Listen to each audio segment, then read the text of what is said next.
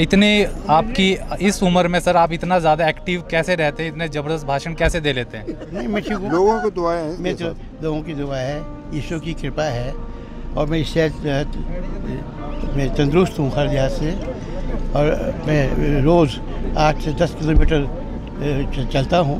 बिल्कुल वास्तव में मेरा शरीर चाहे थोड़ा भूदा वृद्ध हो मगर मेरी आत्मा जो है वो युवा है। हाँ।